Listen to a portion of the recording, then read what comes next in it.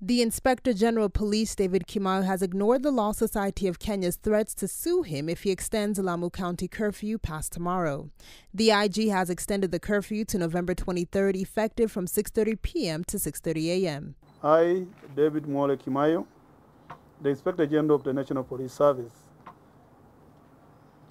in accordance with the provisions of Section 8, Subsection 1 of the Public Order Act, Cap 56 Laws of Kenya, do hereby issue an extension of curfew orders within Lamu County from 22nd October 2014, starting from 6:30 p.m.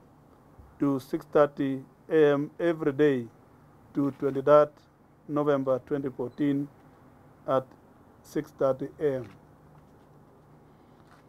Every person residing within the Lamu County is directed to remain indoors during the period the curfew order is in force, except under and in accordance with the terms and conditions of a written permit granted by the police county commander.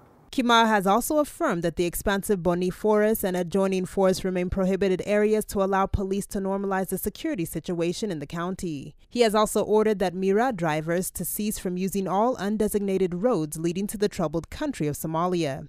Kim- vehicles that transport Miraa from the point of departure have now been completely banned from using these routes that I've just mentioned. And therefore, they should not be able to use those routes other than designated routes, which are some regulated border point, not through the unregulated uh, routes or what we call the Panya routes. Kimaiyo says police are acting on intelligence reports saying they are yet to arrest all those who were involved in the attack that left 100 people dead and property destroyed.